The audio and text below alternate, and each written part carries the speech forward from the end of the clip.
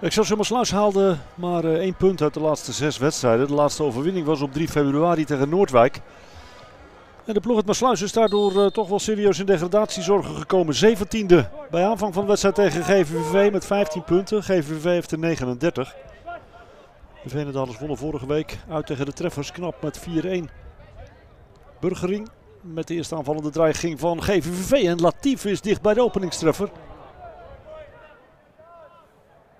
Gerry Vink, de fanatieke coach van GVVV. Burgering gezocht. Excelsior kan opruimen. Maar GVVV met uh, Vergara neemt alweer over. Jonathan Vergara Berrio met het schot en de redding met moeite van Tobias van der Klei. Maar het blijft 0-0 op Dijkpolder. Dan de thuisploeg met de eerste dreiging. Da Fonseca. Van afstand geschoten. Het uh, schot is van Bram Wennekers. Gaat hoog over het doel van Ruben van Kouwen. Die opnieuw de voorkeur krijgt boven Jan van Willigen bij GVVV onder de lat.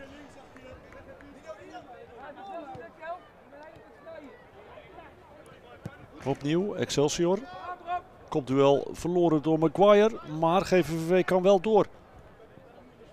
Met een schot van Spies. En daar heeft GVVV heel veel pech. Tweede keer het aluminium. Eerst de koppel van Latief. Nu het schot. Hallo Erwin.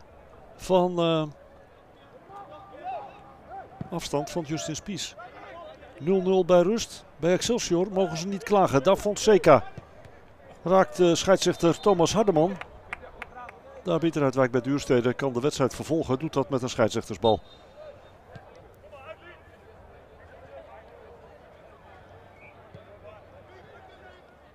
Spies verliest het duel van Da Fonseca. Excelsior in de aanval.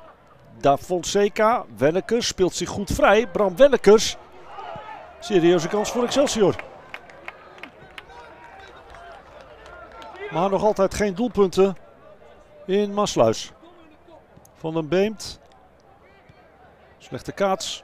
En de overname van GVV met Burgering. Die zoekt daar in het centrum. Leroy George. Nou, het gediende staat echter buitenspel. En uh, dus zou het feestje, als hij raak had geschoten, ook niet door zijn gegaan. GVV natuurlijk uh, bezig aan een geweldig goed seizoen. Promovendus, vorig jaar via de play-offs. Maar hier is daar dan toch de achterstand. Pieter Langendijk, de doelpuntenmaker. Het aangeven was van Kevin Derks. En iets meer dan een kwartier na rust komt de thuisploeg op voorsprong. Langendijk verrast Dilroosum in de rug. Van Kouwen doet alles wat hij kan om de goal te voorkomen. Maar het lukt niet. En dus is het 1-0 voor Excelsior Maasluis. moet GVVV, zoals dat dan zo mooi heet, in de achtervolging. Met Maguire hier aangespeeld door Veenhof. Burgering. En Van der Klei. De doelman van Excelsior nog niet serieus in de problemen. De thuisploeg opnieuw. Goed gedaan en de redding van Van Kouwen. De inzet was van Maatsen. Dit ziet er niet goed uit.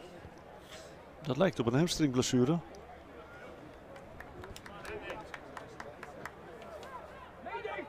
Maguire. Als de tijd begint te dringen voor GVVV. En Excelsior weet dat er in de omschakeling ruimte kan liggen. Wennekers met Maguire. Overtreding van Maguire.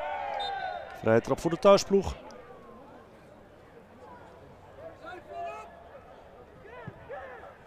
Da Fonseca vindt Overman. Voormalig jeugdspeler van Sparta. Overman. En dan is het 2-0 door Dave van Delft. In de vierde minuut van de extra tijd beslist hij de wedstrijd voor Excelsior Maasluis. Dave van Delft op aangeven van Overman. Van Delft volgend jaar speler voor Sportlust 46 uit Woerden. Nu nog derde divisionist. Dat zou kunnen veranderen. 2-0. Drie hele belangrijke punten voor Excelsior Maasluis.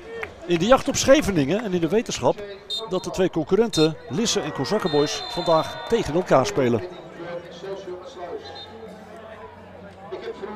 tussenstand tegen Quick Boys 1-0. HC Hardenberg, Sparta Stadberg Dat zijn Rijnsburgse Boys tegen Jong Sparta 1-3. AFC